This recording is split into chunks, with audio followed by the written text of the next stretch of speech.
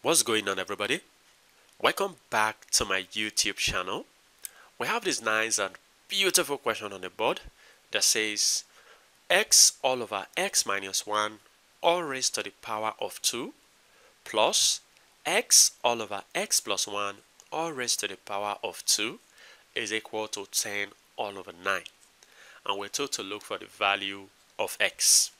Now we're going to be starting with substitution so I'll take this, which is x all over x minus 1, and say let this be a. And then I'll take this, which is x all over x plus 1, and say let this be b. Now let's rewrite our original equation.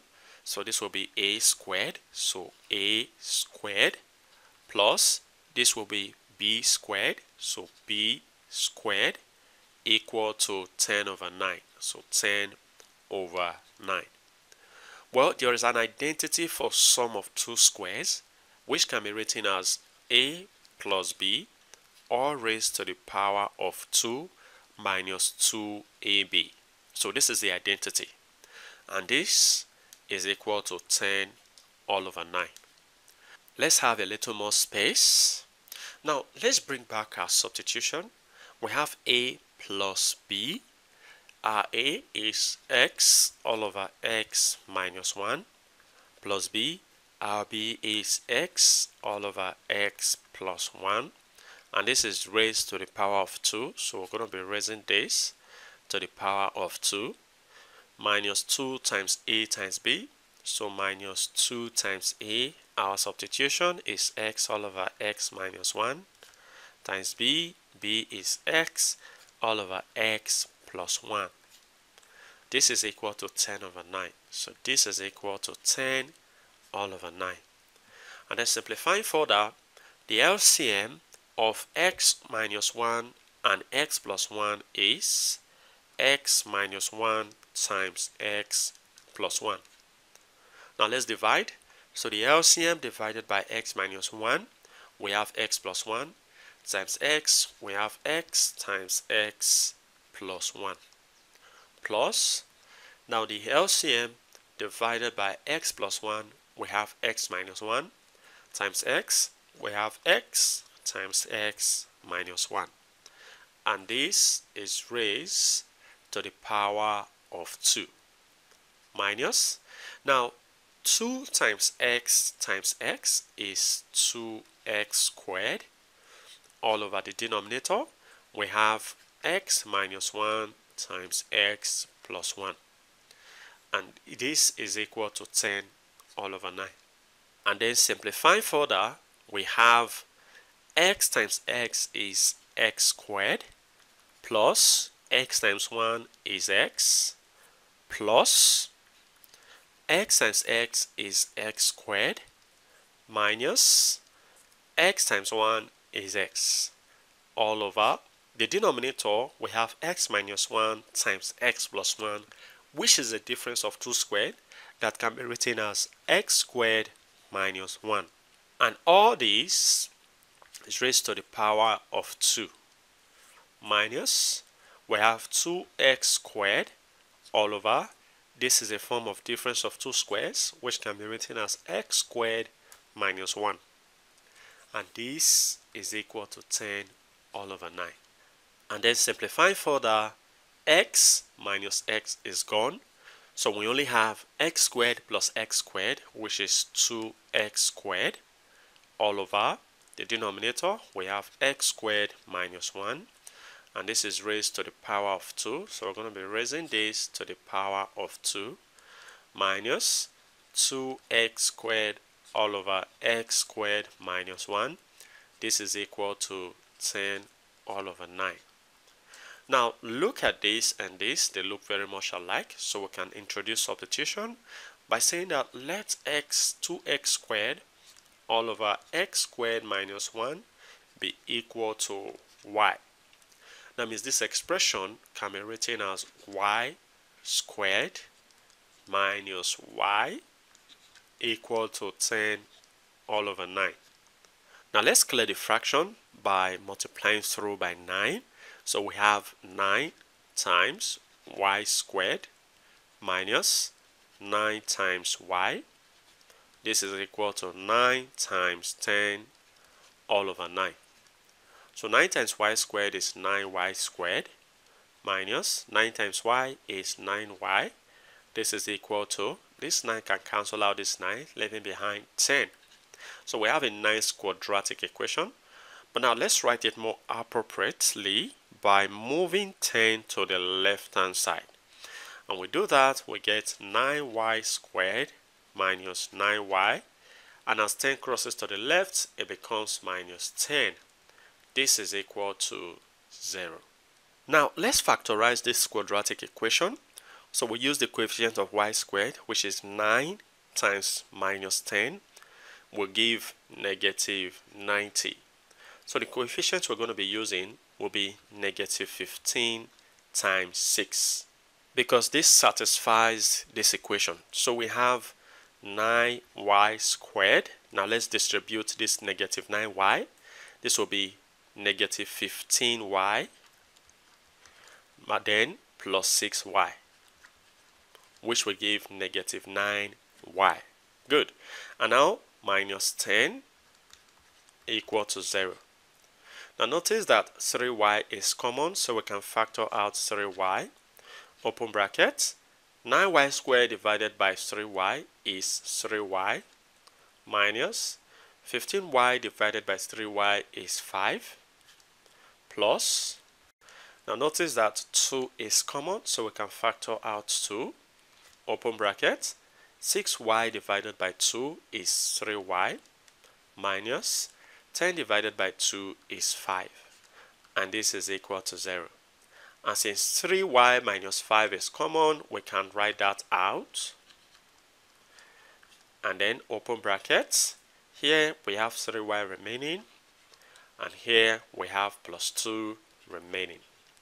And this is equal to 0 so we have two cases we have 3y minus 5 to be equal to 0 or we have 3y plus 2 to be equal to 0. So let's start with case 1. So case 1 we have 3y minus 5 to be equal to 0. We're going to move minus 5 to the right hand side so that we have 3y to be equal to as negative 5 crosses it becomes positive 5. Now to get the value of y, we divide both sides by 3 so that this 3 cancels out, leaving y to be equal to 5 all over 3. Now for the other case, which is our case 2, we have 3y plus 2 to be equal to 0. Now let's move 2 to the right hand side.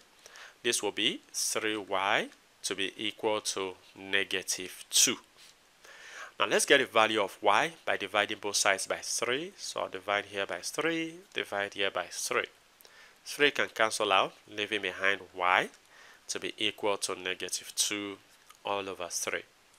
Now let's recall from our substitution, recall that we said let 2x squared all over x squared minus 1 be equal to y. Now we'll start with our first value of y, which is 5 over 3. So this will be 2x squared all over x squared minus 1 equal to y. This time is 5 over 3. Now let's cross multiply. When we cross multiply, we have 3 times 2x squared, which gives 6x squared, to be equal to 5 times x squared minus 1. Now let's distribute this 5. So this will be 6x squared to be equal to 5 times x squared is 5x squared minus 5 times 1 is 5. Now collect like terms by moving this 5x squared to the left. We have 6x squared minus 5x squared. And this will be equal to negative 5 remaining on the right. Now see that 6x squared minus 5x squared is x squared and this is equal to negative 5. Now let's take the square root of both sides to get rid of this square. So this will be the square root of x squared equal to plus or minus the square root of negative 5. Now this square root can cancel out the square, leaving behind x to be equal to plus or minus. Now the square root of negative 5 is same as the square root of 5 times i. So there are two values of x from here, which is plus or minus the square root of 5i. Now, this time, let's solve for our second case when y is equal to negative 2 all over 3. Let's go there. So this will be 2x squared all over x squared minus 1 equal to negative 2 all over 3. Let's cross multiply. 2 times 2x squared is 6x squared equal to, now this negative 2 times x squared minus 1. So times x squared minus 1. Now let's distribute this negative 2 into the brackets. So we have 6x squared to be equal to negative 2 times x squared is negative 2x squared. Now negative 2 times negative 1 is plus 2. Now we're going to be moving this negative 2x squared to the left hand side so that it becomes 6x squared plus 2x squared to be equal to 2. Now on adding, 6x squared plus 2x squared is 8x squared. And this is equal to 2. Now to get x squared, we divide both sides by 8 so that this 8 cancels out, leaving behind x squared to be equal to now 2 can go. So 2 divided by 2 is 1. 8 divided by 2 is 4. So I have 1 all over 4. Now to get the value of x, we have to take the square root of both sides. So I'll take the square root of x squared equal to plus or minus the square root of 1 all over 4. Now see that this cancels out this, leaving behind x to be equal to plus or minus. Notice that the square roots covers 1 and 4. That means it can be written as the square root of 1 all over the square root of 4. Making the value of x to be plus or minus, the square root of 1 is 1 all over the square root of 4 is 2. So x is also plus or minus 1 over 2. Well, feel free to share your ideas in the comment section below. And if you enjoyed this video and have learned something from this video, go ahead and give this video a thumbs up. Subscribe if you haven't. Turn on the notification bell so you don't miss my upcoming videos. And like I always say, until next time, take care.